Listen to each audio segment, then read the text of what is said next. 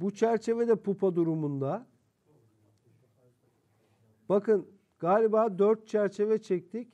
Dört çerçevenin ikisi tam pupa, ikisi yumurta.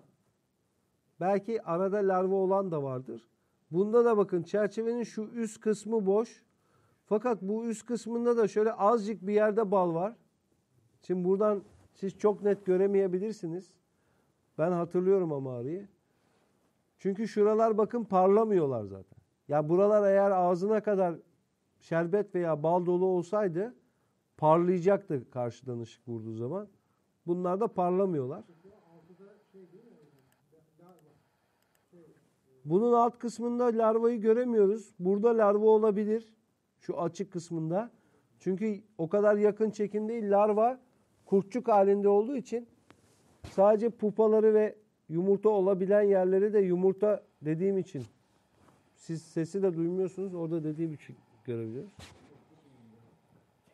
Ne diyor? Hayır kolumu so ona işaret ediyorum. Çok duman verme. Nefes alamıyorum diyor. Yok.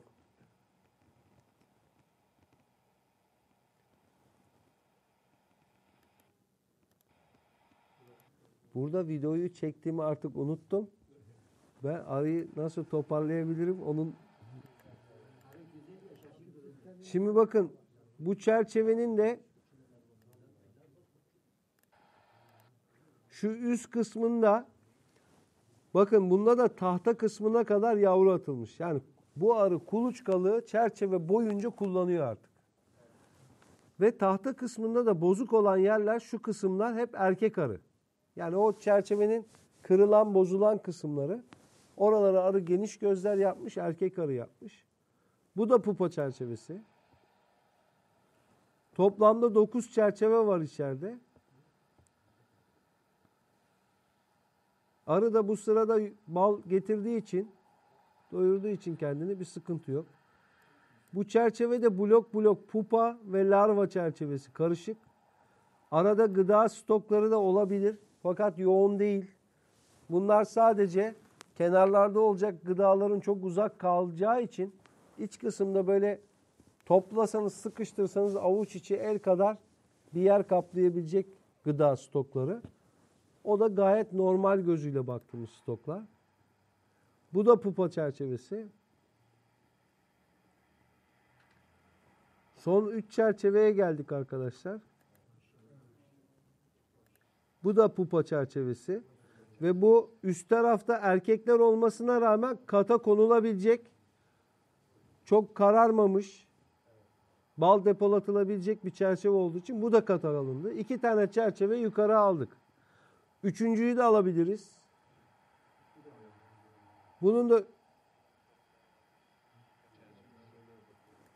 üst kısmında bile arkadaşlar o kısımda boş kalan yerlere bile yumurta atılmış. Yani ana arı gerçekten çok verimli bir ana arıymış. Karnı da doymuş.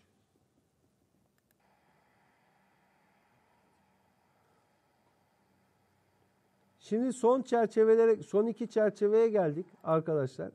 Burada normalde istediğim, yani yapmak istediğim, görmek istediğim şey de bu çerçevede e, yavru olabilir.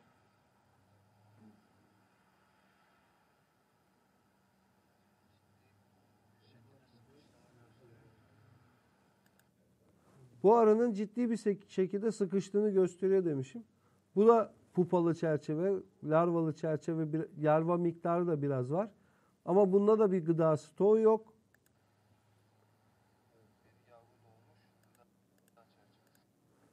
Önceden bu çerçeve gıda çerçevesiymiş arkadaşlar. Galiba bu son çerçeve evet. Başka çerçeve yok. Tahta gözüktü karşıda. Bal çerçevesiymiş. Onu da kullanmış, balonu kullanmış. Oraya da yavru basmış adam. Dışarıdan karnını doyurabiliyordur. Ama ekstra verim verebilecek gıdası kalmayacak. Yani ben çerçeve koyduğum zaman belki şişiremeyecek. Ama ben çerçeve koyduğum zaman hem şişirmesini istiyorum ki şişirdiği zaman şunu anlıyorum ben. Getirdiğini kullanıyor. Benim verdiğim de eksik olanı tamamlıyor. Artanıyla petek şişirebiliyor diyorum. Ama getirdiği yetmiyorsa yani 2 kilo bal gerekiyorsa günlük ama 1 kilo 800 elde edebiliyorsa 200 gram elde edemiyorsa özellikle o da yavru beslemesi için kullanılacaksa bakın. Yavru yetersiz beslenmesini kesinlikle istemiyorum. Ben yetersiz beslenen yavrunun problemini yarın görmem. 20 gün sonra kuluçkadan çıktığı zaman görürüm. O yavruyu tekrar toparlama şansım yok benim. Ben besleme döneminde özellikle gıda sıkıntısı çekmemesi. Bal döneminde yavru yetersiz beslenmiş. Tamam bir grup yavruyu kaybedebilirim ama ben bal akım dönemini geçirdim. Ondan sonra benim arıyı toparlayabilmek için önümde bir süre var. Besleyebilirim de, antibiyotik de verebilirim, her şeyi yapabilirim. Çünkü ben daha bala girmeyeceğim.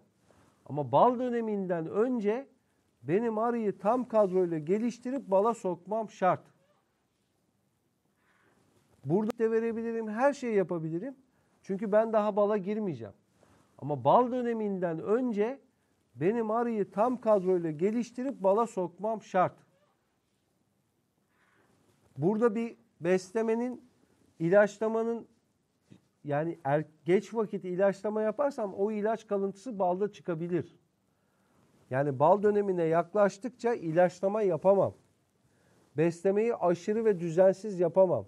Düzgün yapmam lazım.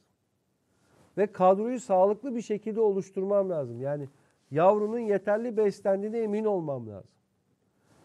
Yavruyu kaybettiğim vakit ben bir parti yavruyu kaybettiğim vakit bal akım döneminde bala çalışacak bir kadroyu kaybetmiş olurum.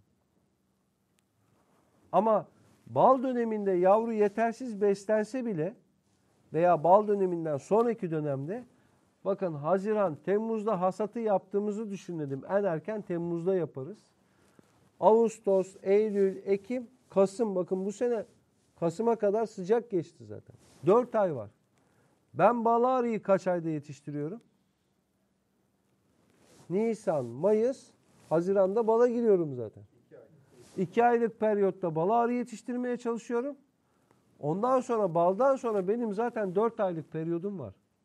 4 aylık periyotta arıyı sağlıklı bir şekilde bakım yapabiliyorsam kadrosunu genç bir şekilde yenileyip kışa girmeyi amaçlarım. Ama bal dönemini kaçırdığım vakit benim kestane ıhlamur balığı için 20 günlük 25 günlük zaten bal akım dönemim var. Oraya sağlıklı bir kadroyla ulaşmam lazım. Bütün hedefimiz bu arkadaşlar. Bu videonun çekildiği tarihe de bakacağız.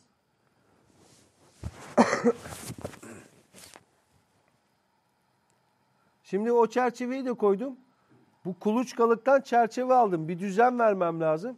Bakın son aldığım çerçeve açık yavru bulunmayan bir çerçeve olduğu için ve arının kadrosunun tam olduğu için oraya bir tane yeni çerçeve koydum. Çünkü onun dışındaki kalan yavru ama komple kapalı yavru. Yani açık yavru yok.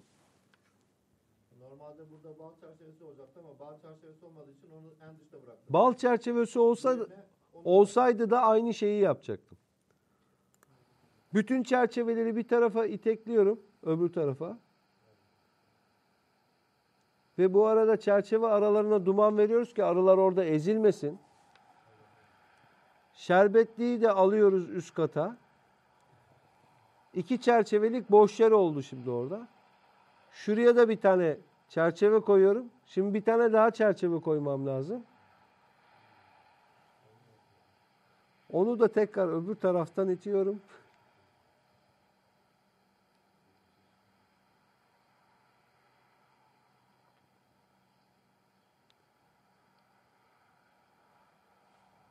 Oraya da bir tane çerçeve koyuyorum. Bir tane daha çerçeve koymam gerekseydi onu da ister sağ tarafa ister sol tarafa hiç fark etmez bak. Bundan sonra iki tane daha çerçeve koymanız gerekse de sağ tarafa sol tarafa önemli olan yavruların aşağıda toplu halde durması, yukarıya koyduğunuz yavruların da onun üstünde durması. Bakın katı öne doğru hafif kaydırarak uygulamada söylediydim. Önde pervazımızın olmamasının gerekçesi bu. Çerç, çı- katı öne doğru kaydırarak katı koyuyoruz ki elden geldiği kadar az arı. Bakın altta salkım yapıyor. Onlar hep ezilir yoksa. Yukarıdaki yavruları da alttaki yavru alanının tam üstüne gelecek şekilde ortaladım.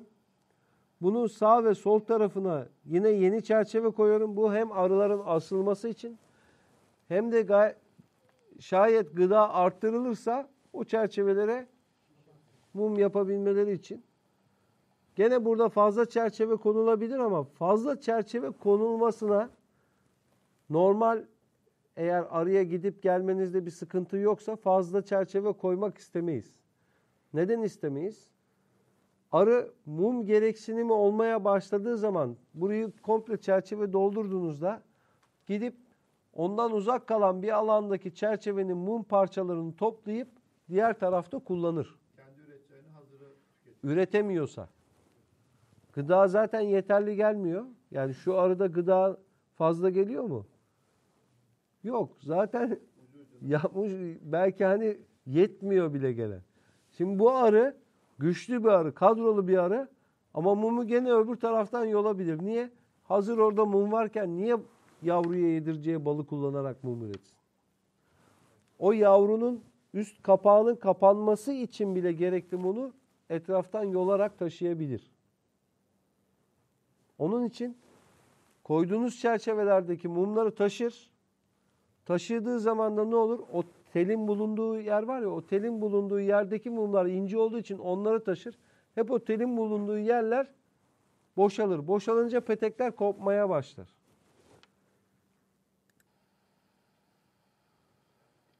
Şerbetliğimizi de koyduk. Bu arıya şimdi 2 değil 5 litre şerbet de versek dolduracak bir alan neredeyse yok. Ancak yavruların üst kısmında boş varsa oraları doldurur. Muhtemelen de o koyduğumuz yeni çerçeveleri şişirir.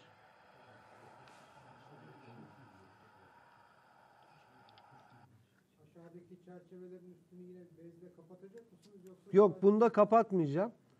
Şimdi burada arkadaşlar şu var. Ben hani örtü kullanmasını sizin kafanızda soru işareti olmasın diye söyledim. Yani insanlar tereddüt ederler. Hani alan geniş arı ısıtamayabilir diye örterler. Örtün. O şekilde çerçeve koyduğunuz zaman evet. Ama şu nüfustaki ve şu şekildeki bir arıya kat konulduğu zaman hangi dönemde olursa olsun benim bu arıya sadece tek gayem besin yetiştirmek. Aç kalmadığı sürece bu arı üşümez. Üst kattaki yavru da üşümez.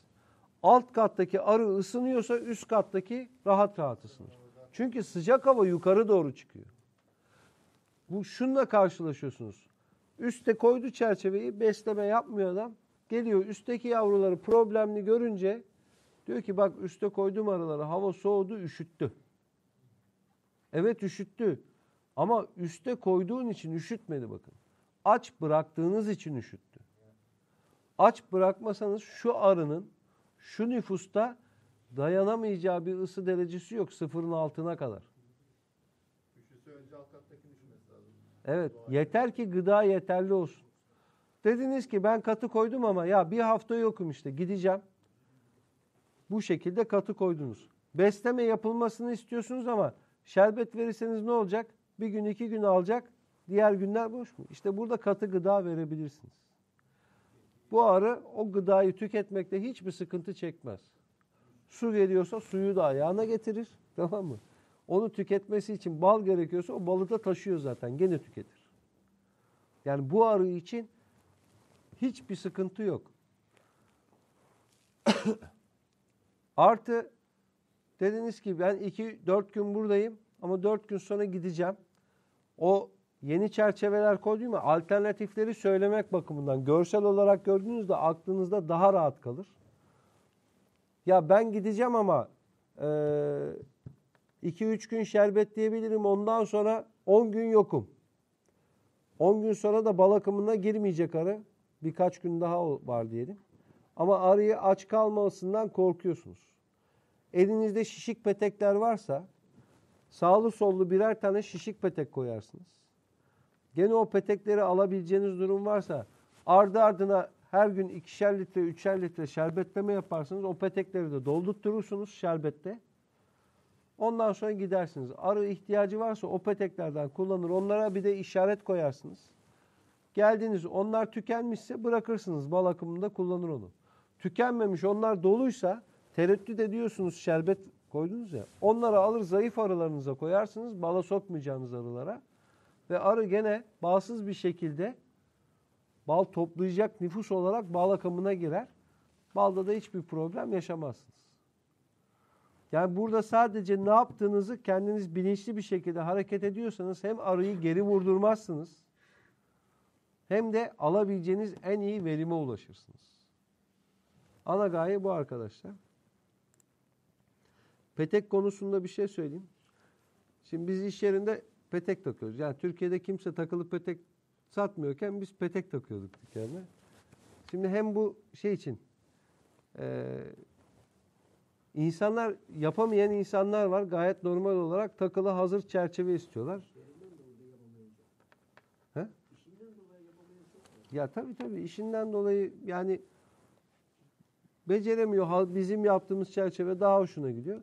Ve bunu hep söylüyorum. İnsanlar hani ya siz hep çerçeve yetiştirme. Bakın biz bir Yalova'nın değil ya arıcılarının beşte birinin dörtte birinin çerçeve ihtiyacını karşılayacak potansiyele sahip değiliz öyle yani.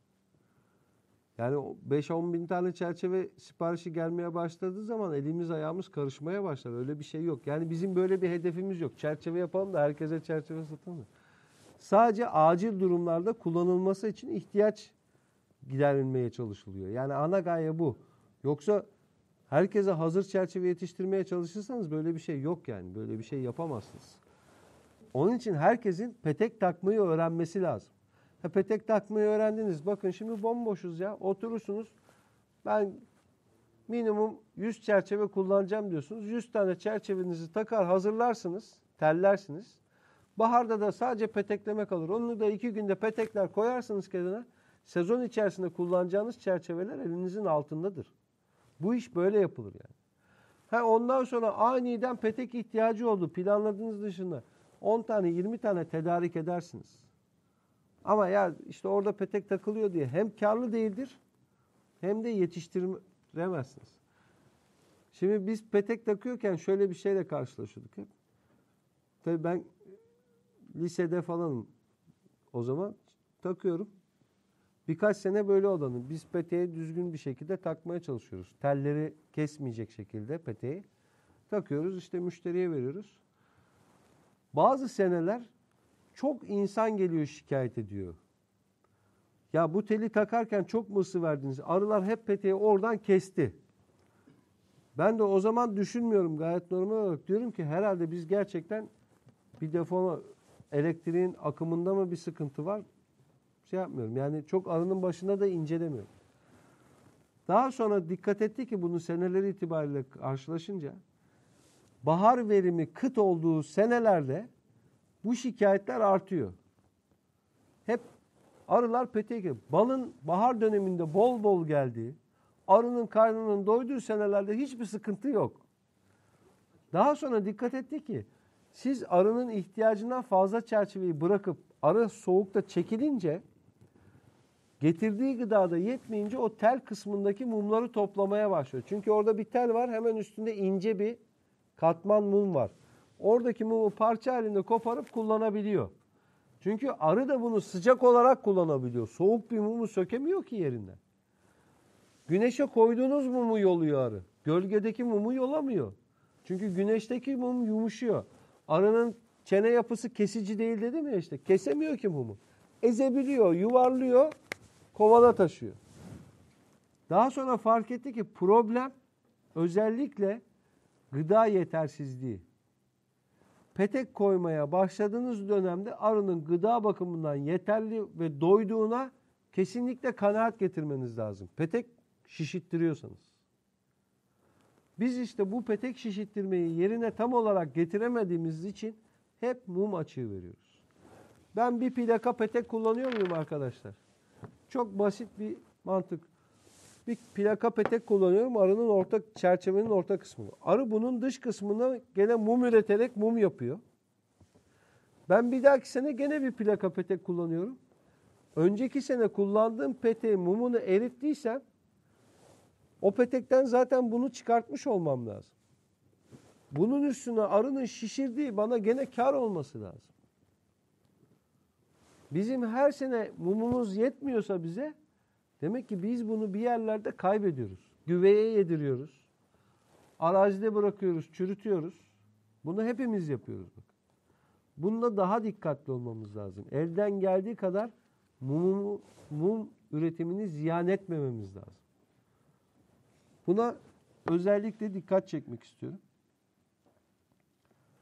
Şimdi diğer bir şey de şimdi burada görsel olarak hazırladığım daha önce anlattığım bir nazonov bezinden koku salgılanması vardı. Onu görebilmeniz için bir video. Bilgisayar da videoyu açana kadar maşallah. Ama hata bende bunu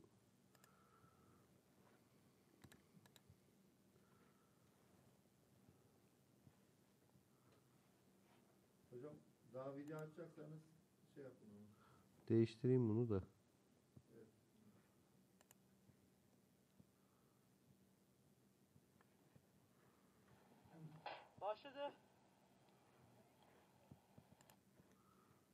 Balığına ben havalandırmayı aç diyorum. O neyi açıyor? Bakın burada arkadaşlar kovanın uzak mesafeden baktığınız zaman bir sürü arı ön tarafta yığılı ve bu kovan polenliksiz bir kovan. Altında havalandırma yok. Kalabalık bir arı. Bir abimizin arısıydı benim aralıkta. Şimdi yüzleri kovana dönük olanların hepsi kovan için havalandırma yapıyor. Nazanov kokusu değil bakın burada.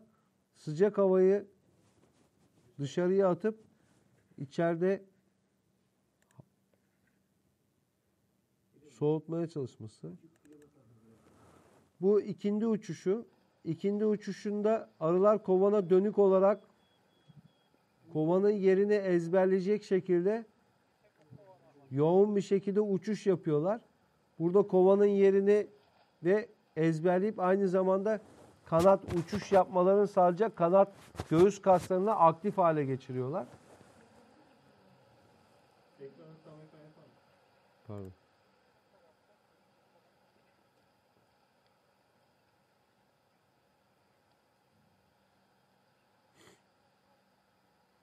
Burada uçuş çok yayılacak şekilde değil.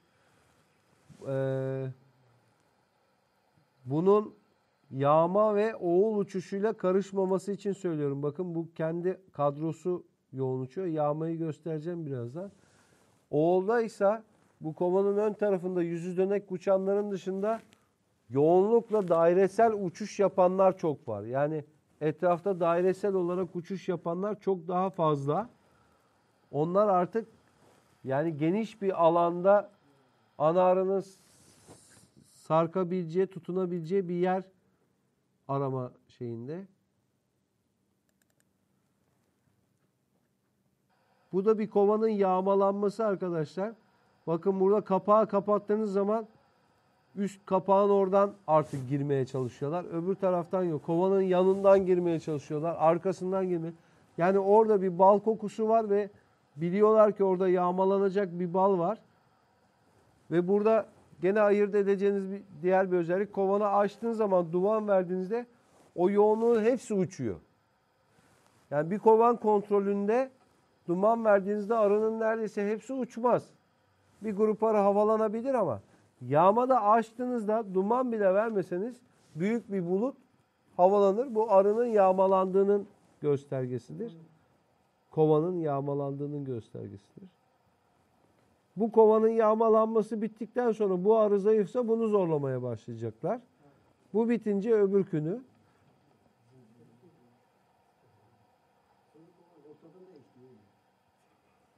Bu yani şey dedim yani bir arıca efendim Arıyı iyi beslemişsiniz, iyi çoğaltmışsınız. Artık buldukları delikten içeri bal atmaya çalışıyor hayvanlar. Evet evet. Beni çok seviyorlar onlar. Bir arıcı abimizin dediği var dedim ya hani kovana fare girecek peşinden kedi de girecek yani. O delik olmasında sıkıntı yok diyor yani. İçerideki arı güzel olsun yeter ki. Bu kat konulması. Kat kontrolleri.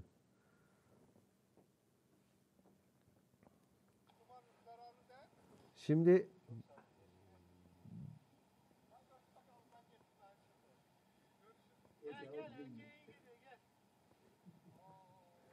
Şimdi bu kontrol edilmesinde bakın.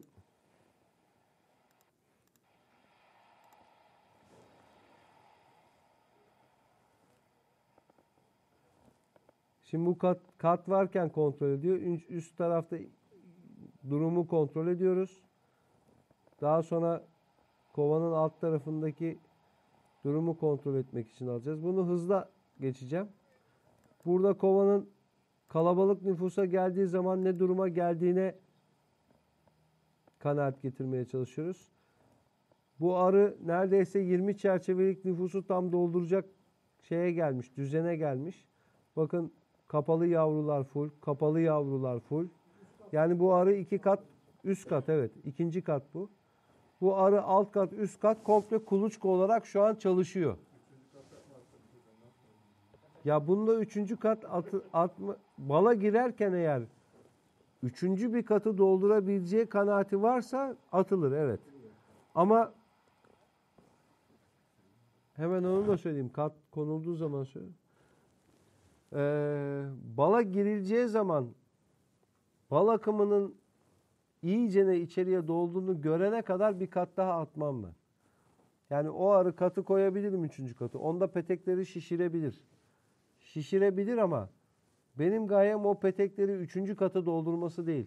Bu ikinci katta yavruyu çıkartıp bu alanı doldurmasıdır. Yani o yavru çıkacak oraya bal dolduracak arı. Aşağıda yer varsa kuluçkayı aşağıya çekecek. Yukarısı bal dolduracak. Ama arının kalabalıklığını düşünüp hep üste bir kat atılır. Şişirilir arı tarafından. Ondan sonra onu şişirdi bir kat daha atılır. Siz balı doldurduğunu görmedikten sonra bir kat daha atıyorsanız arıya sadece mum şişirttiriyorsunuz. Balı stoklattırmanız lazım. Stoklatıldığını görmeniz lazım. Arı balı stoklayacak ki yavru yapamayacak, nüfusu azaltacak. Ama siz alan genişletip yavru attırıp, alan genişletip yavru attırırsanız bal zaten geçer. Ondan sonra bakarsınız ki kovanda bal yok, sadece yavru var. Yani yavruyu yapabileceği yavruyu baldan önce yapmış olacak arı. Ondan sonra artık çıkan yavrunun yerine balı dolduracak. Biz bunda genel itibariyle hata ediyoruz bakın. Yani bunu biz ne kadar? Üçüncü katı bal akımı başlamadı ama üçüncü katı doldurdum. Oraya da yavru yaptırdım. Şunu hep sorarım. Arıya üçüncü katı koydum. Der arıcı bana. Ben de derim ki en alt katta ne var baktın mı? Ya alt kat bakılır mı der arı. Alt katta ne olduğunu bilmiyorsanız üçüncü katı koymanızın hiçbir anlamı yok. Yani siz evinizin üçüncü katını çıkıyorsunuz, alttaki yolunuz taşınmış gitmiş yani şimdi. Siz üçüncü katı niye çıkıyorsunuz yani? Hiçbir anlamı yok. He, kiraya veriyoruz. Güve kelebeğine kiraya veriyoruz. Yağmacılara kiraya veriyoruz. Eşek arıları ve sarıcı arılara kiraya veriyoruz. Ama kiraları toplayamıyoruz işte. Sıkıntı o. İkinci katı koysak da her defasında alt katı kontrol etmek gerekiyor mu? Her defasında değil de e, yani nasıl dedim ne kadar aşağıda da yavru var mı? Aşağıdaki durum ne? Bir genel itibariyle bakmanız gerekiyor. Yani haftada bir bir kontrol etmenizde fayda var. Yani ben her zaman şunu söylüyorum. Alt kat zaten dolu. Üst katta da dört çerçeve. Kaç çerçeve? Ben bunu çok yapmışımdır arılığa gidip. Bu arada kaç çerçeve yavru var? Yukarıda dört çerçeve yavruyu görünce arıcı der ki 14 çerçeve yavru var. Ama katı kenara aldığınız zaman bakarsınız ki alt katta çok büyük bir icraat yok. Olsa olsa 4 çerçeve yavru var, 8 çerçeve yavru vardır orada. Yani o arıya bazen kat konulmasına bile gerek yoktur. Ve yeterli gıda verilmiyorsa bir anlamı yok zaten o arının o duruma getirilmesi. Bu hataların çoğunu yani arıcılar yapıyor bak- bakımından söylemiyorum. Ben de yapıyorum bu hataların çoğunu bazen. Yaptığım için sizi uyarıyorum ki aynı hataları yapmayalım. Alt katta şunu çok karşılaşırız. Bala gireriz, çıkarız, üst katı açarız. Üst katta işte yavru var, altı çerçeve, kenarlarda birer ikişer çerçeve bal var. Katı kenara alırız, alt kata bakarız, alt kat full polen dolu. E ben ne yapayım poleni 10 çerçeve, 8 çerçeve, 6 çerçeve polenin bana bal akımı geçtikten sonra hiçbir anlamı yok. Ben orayı onu kullandırtamam ki arıya. Arıyı alt kata koyamam. O polenleri alırıp kenarı koyamam. Sadece balı alırım. Bu sefer arı iki katlı kalır. E, bal akımı geçmiş. Tamamen başınıza dert olur. Ama alt katı daha önce kontrol edip bal akımına girmeden önce alt katta bu kadar yoğun polen olduğunu gördüğünüz zaman bir çerçeve kapalı yavru, iki çerçeve polen arı bölersiniz bir tane. O bile size poleninizi bakın kullandırtır. Ama bal akımından sonra yaptığınız zaman o arıyı yağmalattırırsınız böldüğünüz arıyı. Misal bal akımı gelmiyorsa dışarıdan. Yani çeşitli sorunlar ama üretim dönemi içerisinde, yoğun üretim dönemi içerisinde sorunu tespit ederseniz çözebilirsiniz. Ve sizin için baldan sonra sorun olmaz. Çünkü fazla bir polen çerçevesi yoktur. Kullanmayacağınız bir çerçeve yoktur. Daha rahat planlama yaparsınız.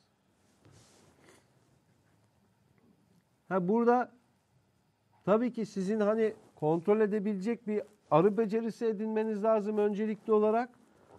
Ondan sonra kontrol edebileceğiniz bir arı ırkına sahip olmanız lazım. Yani saldırgan, hırçın, huylu bir arı ırkıyla siz kontrolü rahat rahat yapamazsınız. Elbise yok mu hocam? Hoca bu saldırgan dedi Kubilay'a sor bakalım. Bak ne yaptı. Bir de maskeyi çıkardı. Kestirmeden gitmiş.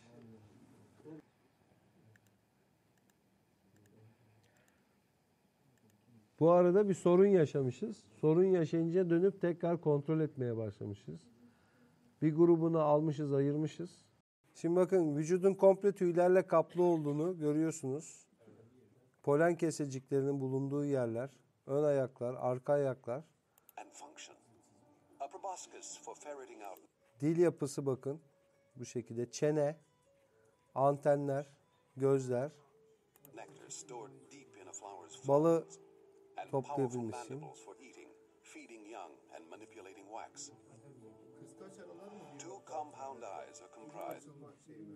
Yok çene aralarının mesafesi. Şimdi oradaki değerlerin hepsi ortalama değerlerdir. Irk özelliklerine göre farklılık gösterebiliyor. Dil yapısının uzunluğu falan onların hepsi belirli sayı. Ortalama değerler veriliyor. of 69 Gözler, birleşik gözler bakın. Binlerce bin, birleşik göz. Penial gözler. Abdomen halkaları bakın kat kat. Kanat kıskaçları. up to 230 times a second. Tek bir kanat gibi hareket edilmesi ve dairesel dönebilme özelliğine sahip.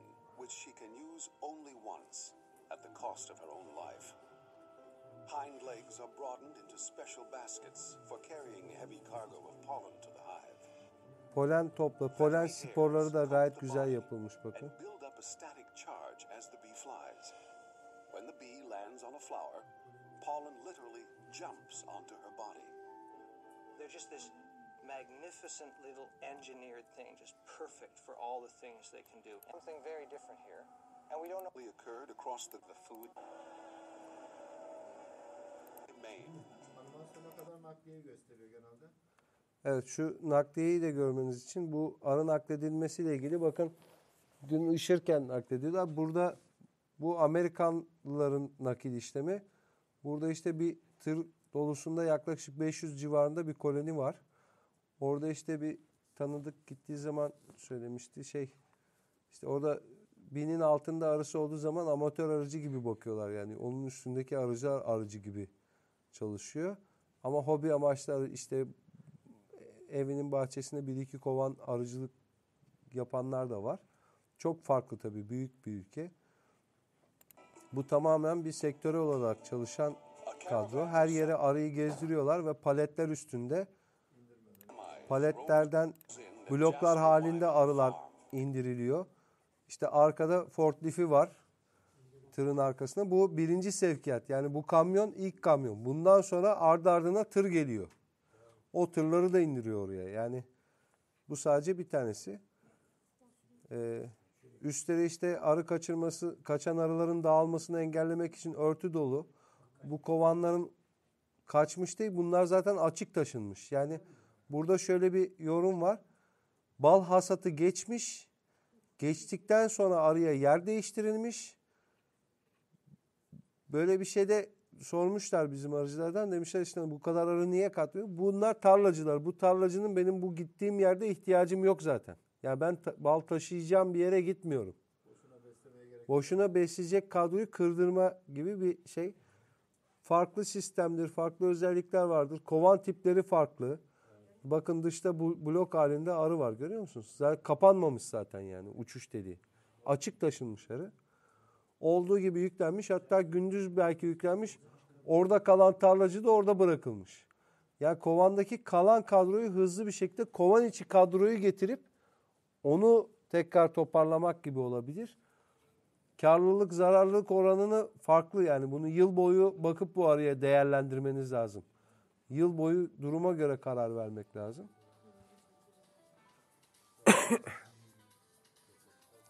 Çerçeve yapısı aynı hocam. Çerçeve aynı tipi. He. Yani çerçeve şey e, genelliğinde bir farklılık yok. Aynı ölçüde standart Langstroth çerçeve. Kovan tipleri farklı. Bakın blok blok indirmiş görüyor musunuz? İndirdiği yerde de zaten çiçekler yarı yarıya solmuş yani. Acaba Son bir sıra bir koloni mi oluyor getirdiği acaba? yerde bakın. Demin gösterdiği alandaki çiçeklerin çoğu ölüydü neredeyse. Evet ama bakın şu kademe kademe açan bir bitki. Kışlar Yani için getiriyor. Ya sonbahar döneminde getirdiği bir yer herhalde burası. Evet. Burada yani bu belgeselde irdeledikleri şey arı kayıplarının neden olduğuna dair o önceki senede bu farklı üniversiteler geziyor dünyadaki ve bunlardan işte oradaki o konuda araştırma yapanlara soruyorlar. İşte ilaçlar olabilir mi? Ee, sindirim sistemi hastalıklarına sebep olan mikroorganizmalar olabilir mi? Ölen toplu kayıplar veren bölgelerdeki arılardan örnekler alınıyor. Hatta DNA'larına kadar bakılıyor. Yani bir aile bir e, ırk özelliğine sahip arılar mı acaba hep öldü? Bunun gibi araştırmalar yapılarak işte bir sonuca varılmaya çalışıyor. Bu belgeselin yapıldığında da yine çok iyi bir sonuç alamadılar. Burada ilaçlamaları değerlendiriyor. Şimdi burada bir şey daha göreceksiniz. Birazdan onun için geri aldım. Ee, şehir arıcılığı diye bir arıcılık sistemi dünyada farklı şeylerde.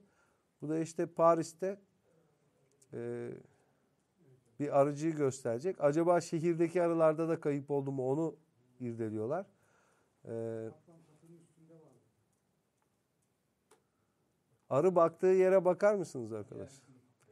Meskün mahalle yakın olmayacak dediğiniz adam çatı katında zaten arı bakıyor. Bir katedral midir Var nedir? değil hocam. Burası gökyüzü.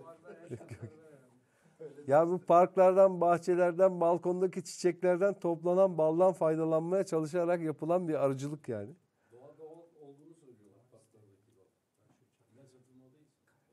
Ya evet öyle söylüyorlar. Şimdi bizim şöyle bir yerde kovan koyduğumuzu düşünün yani. Ortalık karışır. Sen nasıl oraya arı koyuyorsun diye. Ve kaç kat koymuş arının üstüne görüyor musun? 3-5 benim dediğime gelmiş bu hocam. 3-4-5 gidiyor.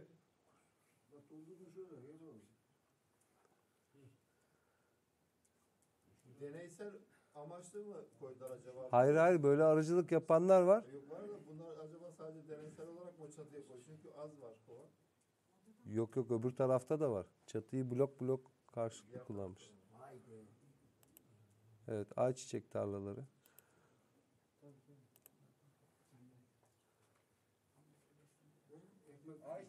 Bu arı ekmeği.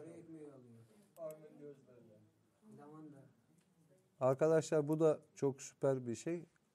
Yok ya öyle bir şey yok. ya. O biraz senaryo.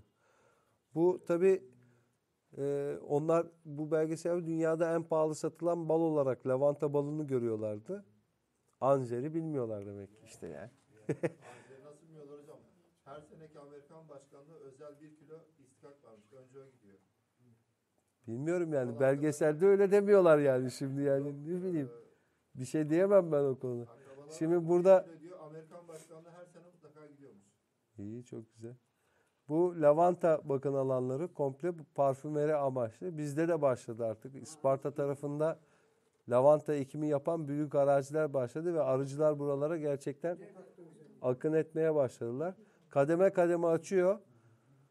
Lavanta üzerine çalıştığım için biraz söylüyorum. Çok e, Haziran'ın başında açıyor ve Temmuz'un ortasına kadar çalışıyor. Araştırmada vardı. Burada yoğun ekim yapılan yer yok. Kütahya'da da olabilir, Isparta'da var. Yani burada onlar çiçeğini toplamak için yapıyorlar. Veya işte parfümeri amaçlı olarak yapıyorlar. Ee, arı için yapmıyorlar ama arı, arı için de faydalanıyorsunuz. Arı için yapanlar da var diye duydum ben. Bu hasatı ve bal süzme makinesinde süzülüş şekli arkadaşlar. Bu lavanta balı işte.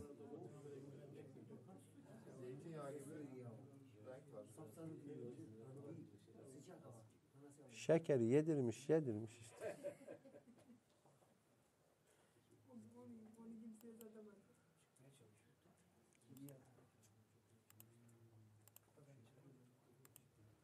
Hocam Almancının bir tanesi şeyde Almanya'dan bir ilaç getirdi. Dedi moruk dedi bundan sür dedi arı sana hiç konmayacak. Başladı yüzüne, gözüne, kulağına, kollarına sürmeye. Ben dedim "Ey, bilmedim ilacı kullanım. 15 dakika sonra arı bir saldır diyor öyle. Arkadaşlar arı sütü paketlenmesi. Adamlar bal hasat eder gibi arı sütü paketliyorlar. Kaç kovandan almış hocam öyle? O kadar bu. o yani tonlarca üretim var orada yani şu. Dedim ya şerbeti basmışlar, basmışlar işte. Çok olunca biz şüpheli bakmaya başladık. Bunun onda biri büyüklüğünde hocam. Bizdekiler bunun yanında Neyin? bizdeki arı sütü şişeleri küçük. Bu kocaman şeye dolduruyor. ya. Ya bu işte Direkt doldurmuş. Abi adam üretmesini biliyor bizim gibi değil. bu bal paketleme.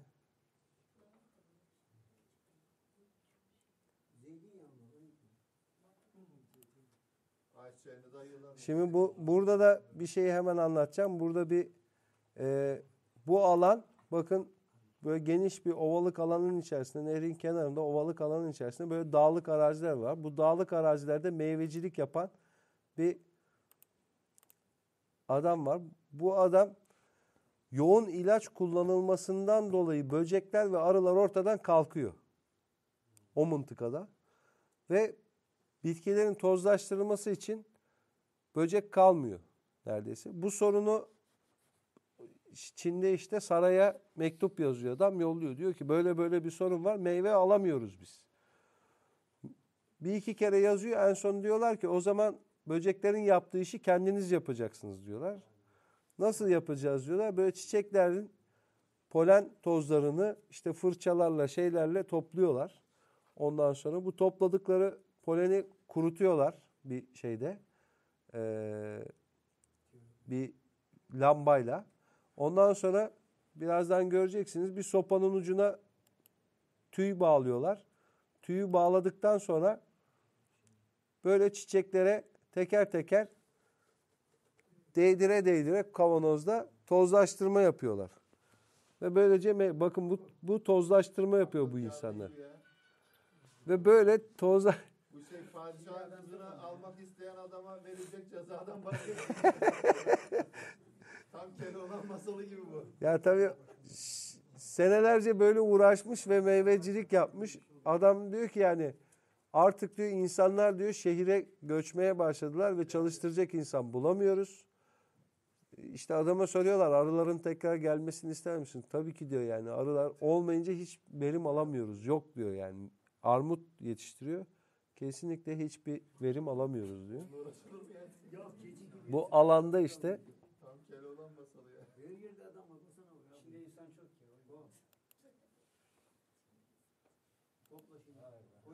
Yoksa Temel zaten alırdı orayı. Orada aradan çok insan var hocam o yüzden.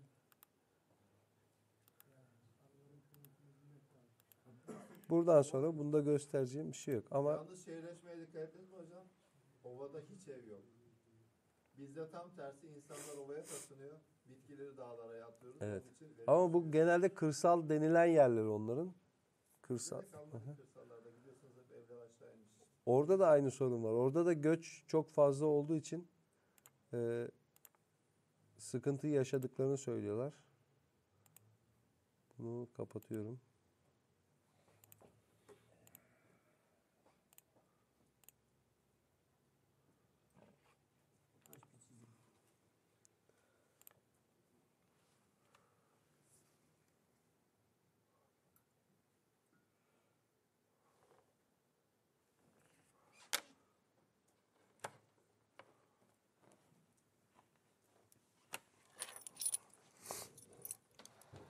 Şu ışığı tekrar yakabilir miyiz burayı?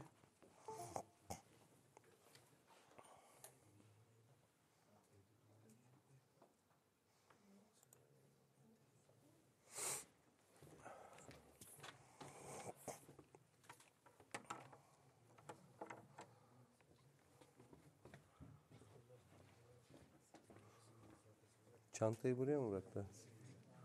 Kubilay şunu tekrar toplayabilir misin?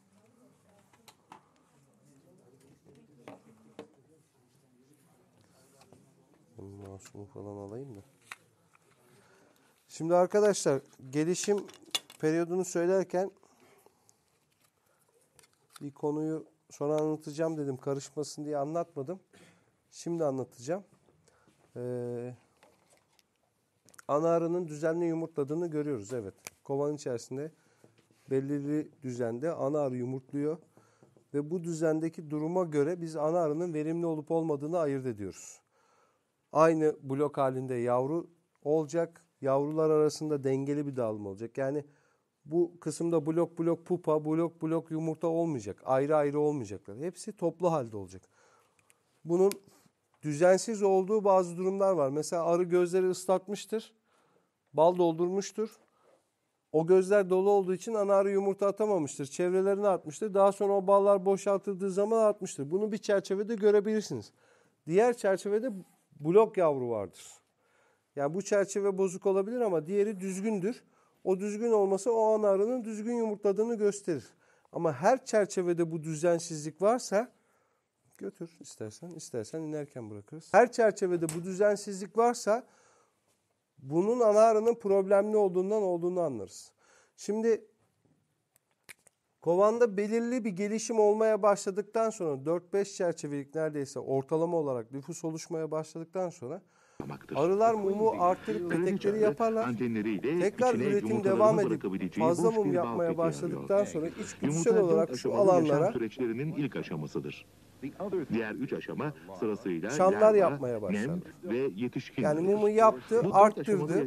İşlenecek petek yok. verilir. oluşturmaya başladı. Kraliçe Fakat bu hiçbir hemen doldurulmaz. gitmez, Bunlar kalır ana ve arı gözleridir. peteklerdeki altıgen bölmelere yumurtlar. Ana arı oluşturulan hücreler. Çiçeklerden polen Ne zaman bal özü ana arı toplamadığı yumurta atıp Yeterli alan bulamamaya başladığı zaman bu çanların içerisine yumurta bırakır.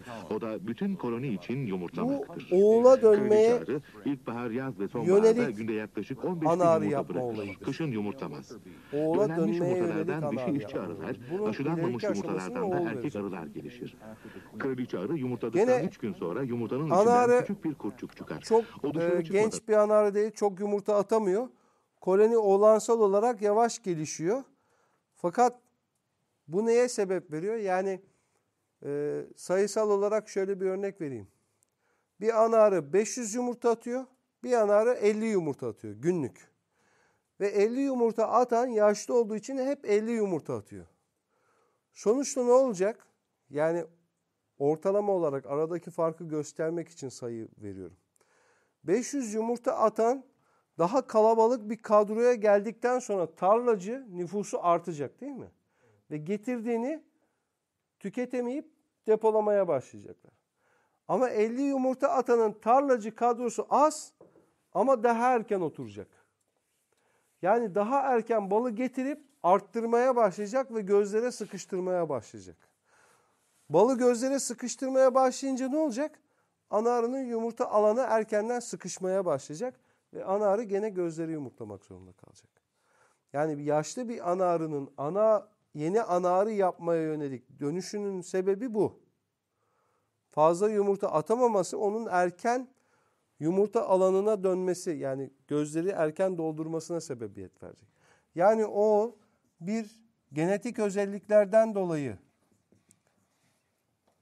oluşan etki. iki ana arının yaşlı olması.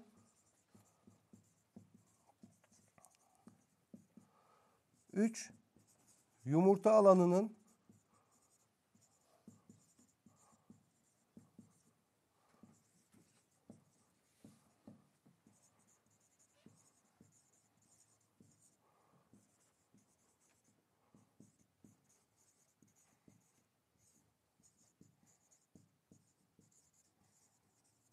Yani kuluçkanın sıkışması. Yeterli kuluçka alanı varsa ana arı yumurtayı atabiliyorsa ve atılan yumurtaya karşılık gıdasını alıp gene yumurta atıyorsa ana arı için çanlara yumurta atmasını gerektirecek bir durum yok. Ama kuluçka alanı sıkıştıysa ve yumurta üretiyorsa o yumurtayı bırakacak yer bu çanlar. Yumurtayı boşa da bırakır ana arı. Yani yürürken yumurtlayacak bir yer bulamadıysa o oluşan yumurtayı dışarıya arılar da aşağıya doğru atarlar onu. O kurur zaten. Kuruyunca bir yani yumurta normal yumurta toplu iğne başı kadar kuruyan yumurta da toplu iğnenin ucu kadar incecik bir şey. Üflesen uçar gider zaten kuruduktan sonra. Şimdi bizim kontrol edebileceğimiz şey ana arının yaşlı olup olmaması. Yani yumurtanın düzenli olmasını kontrol etmemiz lazım. İkincisi de kuluçka alanının yeterli olması. Onun için yeterli çerçeveyi zamanında koyuyor ve ana araya yumurtlatıyor olmamız lazım. Bunu yapabildiğimiz sürece oğul vermeyin önüne geçmiş olacağız. Dolu kovanda hep şu. Ya oğul vermesin kat koyayım. Arı daha 6-7 çerçeveyken kat koymaya çalışın. Kat koymanız sizin oğul vermenizi engellemez. Bunu bir kenara koyun. Kat alan genişletmesidir. Kuluçka genişletmesi değildir. Kuluçkanın genişletilmesi lazım. Kat koydum arıya ama oğul verdi. Hep duyduğumuz şeyler. Bunun sebebi işte bu. Kat koymanız çerçeve de koyuyor tabii ki ama çerçeve koyması da sadece o alanı genişletiyorsunuz. Kuluçka alanı temin size çizdiğim gibi kovanın içerisinde çerçevelerin dizildiği zaman bu alan kuluçka alanıysa siz bu alanda yer açtığınız zaman kuluçkayı rahatlatmış oluyorsunuz. Kat koymanız sadece alanı genişletiyor. Siz evin üstüne üst kata evet inşaata başladınız bir kat yaptınız ama alt kattakilerin ihtiyacı doğrultusunda mı yaptınız? Yukarıya çıkacak merdiveni onların kullanabileceği şekilde mi? Bütün kullanacak yaşamsal alanlar aşağıda, yukarıda hiçbir şey yok. Yatak odası yaptınız, çıkıyor adam orada soğuktan donuyor. Gidip yatar mı? Yatmaz. Alt katı kullanır. Yukarıdaki katı da aşağıdaki insanın kullanacağı, ihtiyacını karşılayacağı şekilde dizayn etmeniz lazım.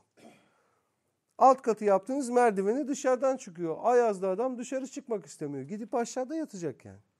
Ya koca evin üstüne kat yaptık gidip kullanmıyor kardeşim diyorsunuz ona. Arıda da aynı şey.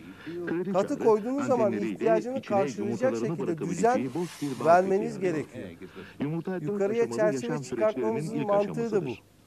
İşi biter, kuluçka işlemi larva, tamamlanan çerçeveyi ve yukarı, yukarıya alıyoruz. O zaten kendi aynı zamanda ısı üretiyor. Kapalı yavrular aynı miktardaki arı kadar ısı üretiyor. Aşağıdaki yavrulara da Yeni yumurta atabilecek alan veriyoruz ve gıda veriyoruz ki potansiyel ısıyı kaybetmesinler, alan arılar alanın hepsini yine ısıtabilsinler. Yumurta atmaya güçleri varsa gene yumurta atsın ki ana arı oğula dönmeye sebebiyet vermesin. yaz ve sonbaharda günde yaklaşık 15 bin yumurta çanlar bırakır. yumurta atılmadığı zaman problem değil. Yumurta atıldığı zaman burada aşılanmamış yumurtalardan da erkek arılar tekrar kuluçka alanı çıkıp ana arı yumurta atmaya başlasa bile burada bir yavru var ve sütle beslenmeye devam edildiği için burada bir ana arı oluşmaya başlıyor. Bu oluşan ana arılar kovanın sıkışıklığına göre ana zaten yumurta atam, atamadığı için yumurta miktarını, üretim miktarını da kısmaya başlıyor. Ve yumurtayı kısarak yumurtalık kanalları küçülüyor ve uçuş yapacak hale geliyor. uçuş yapacak hale gelip çünkü kovanda yeni gelen bir genç anarı olacak. O genç anarıyla rekabet et hem de kendi kızı. Genç anarıyla rekabet etme şansı çok zor olacak. Onun için kovandan fenomen kokusu vererek ve sinyallerle kovandan dışarıya çıkıyor. Kovanda bulunan tarlacı arılar da onunla beraber uçarak kovanın yakın bir alanında bir yere konuyorlar. Neden yakında bir alana koyuyorlar? Bir, tarladan gelen gene grubun bir kısmını toplayabilmek için. İki, ana arı kovandan uçmak için her zaman çıkan bir birey değil. Yumurta üreten bir birey. Yani aldığı enerjiyi yoğunlukla yumurtaya dönüştüren bir birey olduğu için kanat kaslarını aktif hale getirmesi için bu üretimi durdurup kanat kaslarını çalışır hale getirmesi lazım. Çalışır hale getiriyor ve çıktığı zaman önce kısa mesafe uçuyor ve kısa mesafede tekrar ısıyı alıp vücudu uçabilecek ısıya 20 derecelik ısıya ulaştıktan sonra tekrar buradan blok halinde uçarak ayrılacak. O dönem içerisinde buradaki arıların birçoğu bölgeye yayılıyorlar. Bunlara kılavuz arılar diyoruz. Bu kılavuz arılar yeni koloni yeri yapılabilecek alanların verilerini buraya topluyorlar. İyi bir kovan olabilecek alan varsa bu grup tekrar havalanıyor. Bulut halinde uça uça uça uça o kovanın olduğu yere gidiyor. Giderken hem arıları hem de ana arıyı takip ediyorlar. Yani ikisi müşterek olarak hareket ediyor.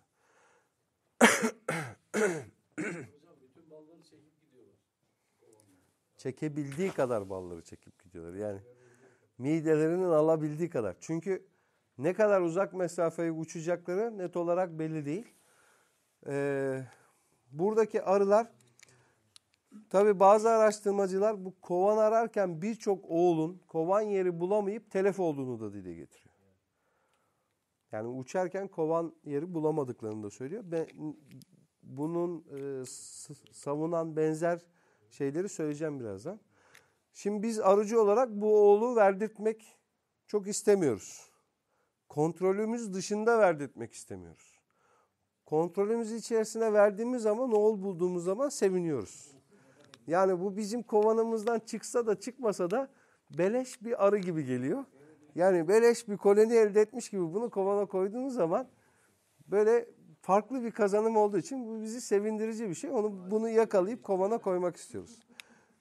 Arılığımızdan da oğulun çıkıp başka bir yere gitmesini istemiyoruz tabii ki. Onun için arılığımızda belli yerlere tuzak kovanlar koyuyoruz. Bu tuzak kovanların içerisine hazır şişik peteklerden koyuyoruz. Arılar buraya hazır petekler bulunduğunu görerek tercih etsinler diye. Aynı zamanda oğul kokusu dediğimiz melisa kokusunu kovana koyuyoruz. Melisa kokusu ana arının feromen kokusuna denk bir koku, benzer bir koku. Bu neyi sağlıyor? Arılar çıkıyor grup halinde. Ana arılarının kokusunu takip ediyorlar ya. Oradan keskin bir şekilde melisa kokusu geliyor ve ana arıları orada diyor o tarafa doğru uçuyor.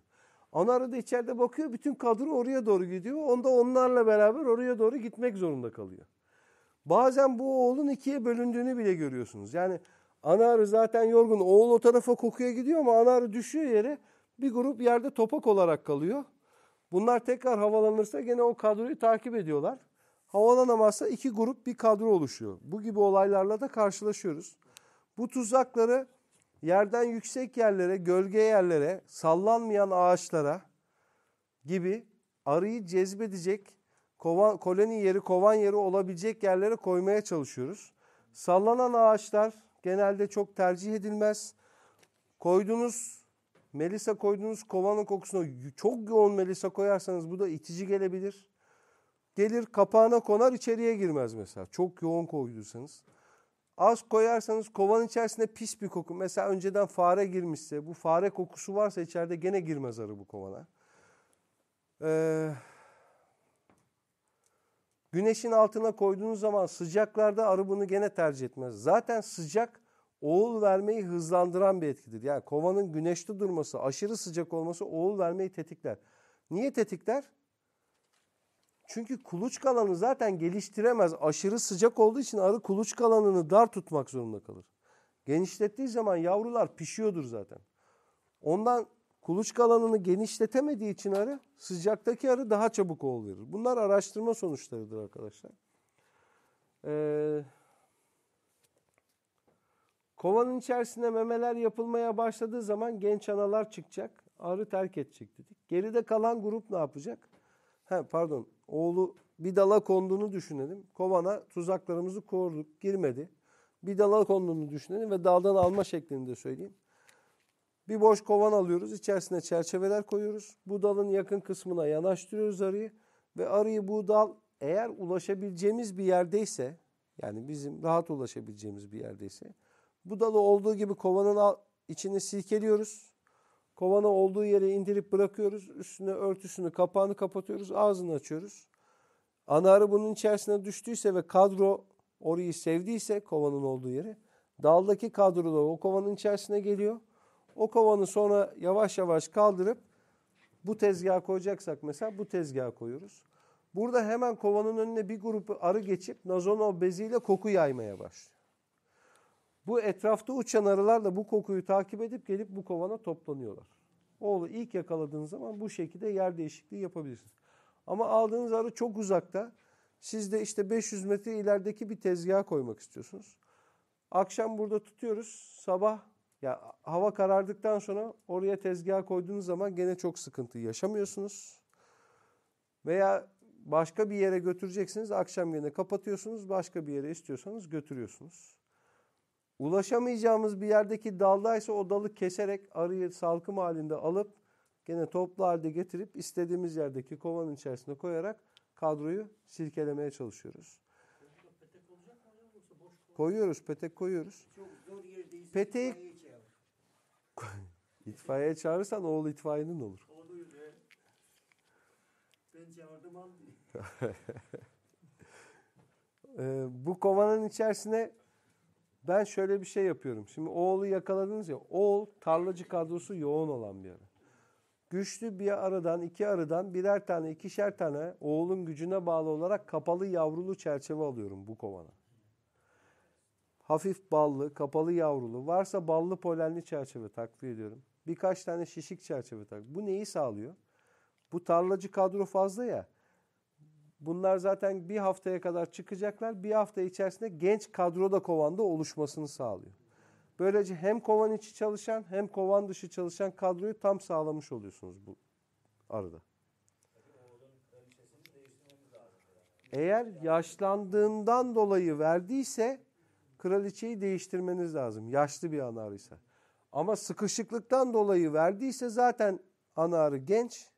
Sadece o kovan sıkıştığı için oğul veriyor. Yani burada yumurta attıktan sonra yumurta düzenine bakıp düzenli bir yumurta varsa değiştirmeniz gerekmeyebilir. Ama yumurta düzensizse bu ana arı zaten yaşlı olduğu için vermiş. Toparlayacak kendini gene oğul verecek. Onun için değiştirmenizde fayda var. Bu birinci oğul bakın. şey yapabilir miyiz hocam mesela takip ettik.